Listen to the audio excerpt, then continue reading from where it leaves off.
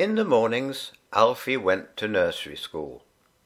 His friends Bernard, Min, Sarah, and Sam, and the others went there too. Gosh, there are lots of children. I wonder if we can count them. First, there's the little boy in, in the yellow shirt. He's number one. One, two, three. Annie Rose in the pushchair. She's number four. Five. Then there's Alfie. And then on the next page, there's Bernard. A little baby in arms. And oh dear, I'm losing count already. Maybe you can do better. I think there are fifteen little children altogether. There were some interesting things to do at nursery school. Alfie drew pictures and learned how to write his name at the top. He did counting and played in the shop. Wow, everybody looks so busy. Are you busy at school?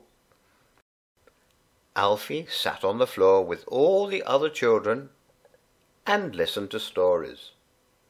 They sang songs together, and sometimes they made masks or paper crowns to take home. Alfie's nursery school was right next door to the big school where Alfie and the others would go when they were older.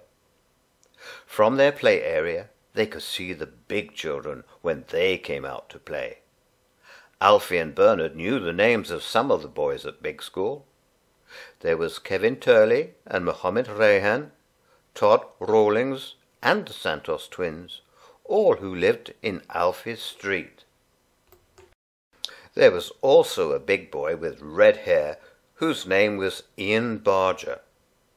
Bernard liked Ian a lot and laughed and laughed at the funny things he did. But Ian never took any notice of the little children. All the boys in year one wanted to be in Ian's gang. Mostly they played football. Sometimes they pulled their sweaters over their heads and tore through the playground, hanging on to each other and pretending to be a fierce dragon. They kept falling over on purpose, and sometimes pulled other people over with them. Ian was always the one in front. Bernard and Alfie both wished they could join in and be part of the fierce dragon too. Alfie went to nursery school on Monday, Tuesday, Wednesday, Thursday, and Friday mornings. On Saturday and Sunday there was no school, Annie Rose was very pleased when Saturday morning came and Alfie could stay at home and play with her. One fine Saturday morning, Mum said she was going to take Alfie and Annie Rose with her to a pot plant sale. It was at a big house not too far away. Alfie and Annie Rose had just started a good game, and they didn't think pot plants sounded very interesting but Dad was too busy to look after them that morning. So off they went. The house where the pot plant sale was had a beautiful garden with shady paths and big trees and lots of flowers. But Alfie and Annie Rose soon got bored with watching Mum choose pot plants. Luckily, there was a grassy place at the end of the garden where helpers were looking after some children who were playing on swings and a climbing frame and a slide. Mum asked Alfie if he would like to stay there for a little while, and he said yes. so Mum went off with Annie Rose, saying that they would be back very soon. Wow, lots of things to do, and I can even see a sandpit. What fun! Alfie had not been there very long when a great commotion broke out. Somebody was screaming and yelling and making a terrible fuss. All the helpers suddenly rushed to crowd around where the noise was coming from. Right in the middle of them was a boy with a runny nose and tears pouring down his cheeks, yelling at the top of his voice. I want my mummy! I want my mummy! he shouted. The kind helpers were trying to comfort him, but he just went on yelling, I want my mummy! Don't worry, we'll soon find her for you, said one. Tell us your name, dear, will you? said another. But the boy would not tell them his name. He was far too busy yelling and sobbing. Doesn't anyone know his name? cried one helper. Only one person knew who that boy was, and that person was Alfie. I know who he is, he told everybody. His name is Ian Barger, and he goes to Parkside School. As soon as Ian caught sight of Alfie, he grabbed him and held on to him very tightly. Then, slowly, he stopped crying and began sniffing and hiccuping instead. Just at that moment, who should come hurrying up, red in the face, but Ian's mum. Oh dear, oh dear, what a fuss, she said.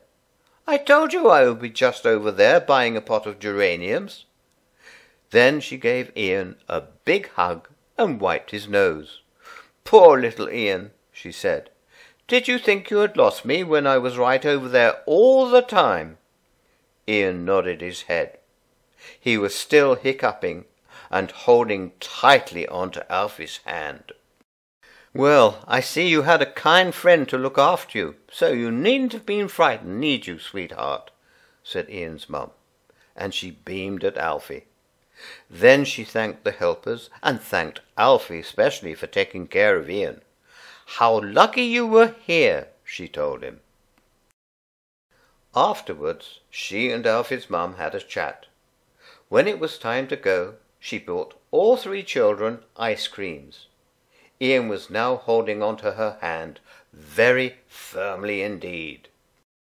At school next Monday morning, Ian came swaggering out to play with the other boys as usual. And, as usual, he took no notice of Alfie and Bernard.